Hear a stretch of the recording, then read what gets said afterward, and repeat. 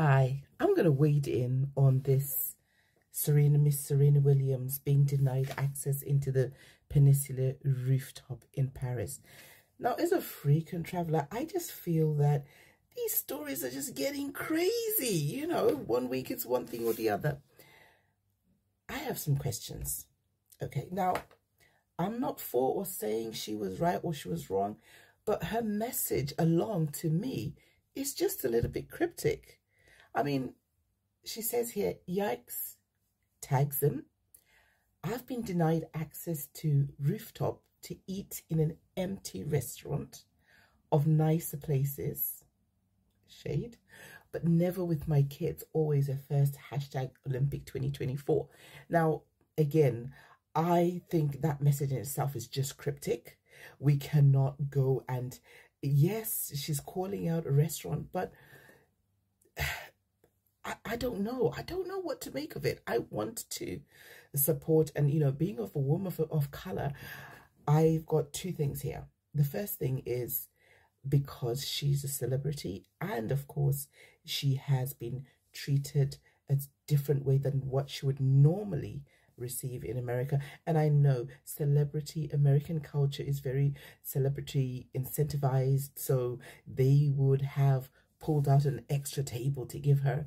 And maybe these are some of the things that Serena does not see behind the scenes happening for her and therefore thinks that it's things just, you know, that just come naturally.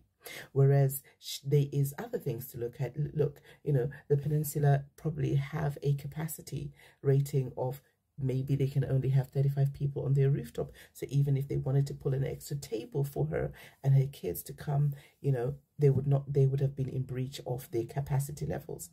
Another thing is if they've maybe another party that's booked because her saying it's an empty restaurant. We all know how restaurants work. Listen, I travel with women as a group. We can book a table for 8 o'clock, but if you come into a restaurant at 7.30, it may not have those seats are going to be empty but i'm coming in with 27 women. That's going to fill that space up. So that's why i'm like i don't know how to make this message because she must know this of all people that look if a restaurant has just because it's empty does not mean that they don't have customers coming in. It does not mean that it's not going to be full. And it does not mean that they have no other plans or events. Maybe they've got event the next day and somebody's going to come and decorate I don't know, her message is a little bit cryptic, okay? So, and then first time with the kids, again, when I think back of my travels to Paris, and, you know, you'll see that if you look, I've got my little Paris statue there at the back there. Um, it's one of my favorite cities um, for different reasons, you know, we all have our reasons, but rooftop bars with children, for me, it's not a preferred place that I would like to be.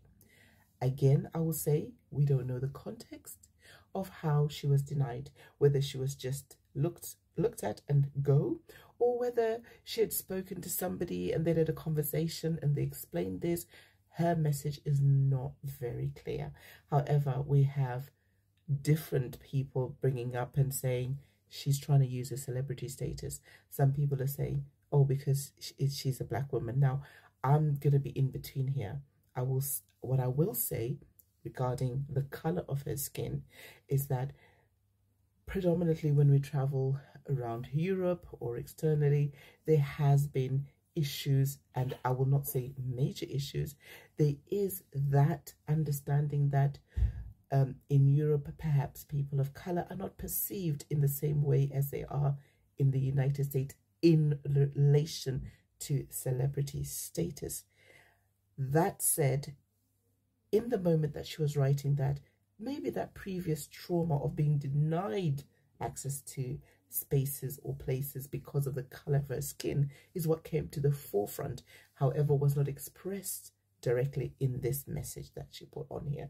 So she could be dealing with that sort of trauma because I can see the comments on, you know, social platforms and you know whatever's attacking oh you know you know paris has always been racist this that the other I'm not going to wade into the race drama right now, but I will say this may have been the other thing that prompted her to think that this is why she's not been given access to the restaurant.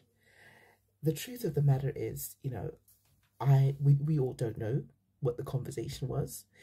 Um, but the truth of the matter is, yeah, if I had booked my table and then it's been cancelled because somebody else has been given it and I have booked maybe six weeks in advance. Maybe it's a special treat that I've been working for. I would be very, very, very disappointed.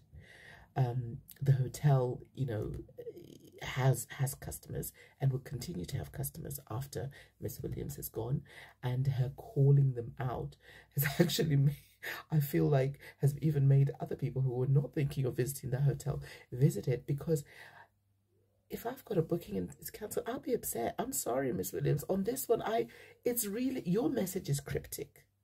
And I'm sorry, I'm gonna have to go to the hotel. If I have booked a restaurant, no matter my stature, and I've booked my slot and I'm coming for my dinner, have my dinner or I want to enjoy my rooftop because it could be my one in a lifetime last thing. I could have been diagnosed with a terminal illness and I am saying this is my one last hurrah and um, you know I've saved up my money to go there and what that chance has been taken away because somebody didn't book or maybe I don't know I don't know I, I'm trying to be very fair on this like I said she may not have known you know or she's not used to this word no um, but a booking is a booking and you know and listen other hand, it's the Peninsula. They did respond to her, you know, and uh, they they gave they gave a very nice response. I don't know whether it's a standard response, but I'll leave it up here for y'all to, you know, um, to read it. And, you know, they say, they, they apologize. They said, um, Dear Mrs. Williams. Now, now, the, the, peninsula, you know she's not Mrs. Williams. You know she's not married to herself. So mm, whoever wrote that clearly doesn't know, right? Anyway, going to forgive you for that one. They say, please accept our deepest apologies for the disappointment you encountered tonight. Again, we're going back to it's a rooftop bar. Do we really want to be with our kids at night? Because, you know, we all know how rooftop bars are. Anyway, let's say, let's carry on. He said, the hotel's Twitter account wrote in response to her on Monday to say that at the time, the only available seating was the establishment's sister restaurant, which is the Le Osiu. I don't know if I pronounced that correctly. Unfortunately, our rooftop bar was indeed fully booked, and the only unoccupied tables you saw belonged to our gourmet restaurant, Le Ours Blanc, which was fully reserved. Okay, so I, like I said, I'm just waiting in. Your comments are appreciated, whether you think I'm speaking off turn or whether you think my, you know, review of this is, you know, is, is correct. I just think it's just a situation that's just kind of happened and it is Paris. It is the Olympics. They are busy. They have a lot of high profile thing, people. And if you don't have a reservation, sadly, these things will happen. It will, can happen to you or it has happened to you. Miss Miss Williams. It can happen to me. Unless we don't know the background and what actually happened and what was there. But I'm going to have to say on this one, mm, I love you, Miss Williams. But I don't know. It's it's not clear. I don't know whether they, they deserve that, to be honest. Uh, a booking is a booking. Let me know. But thanks for watching.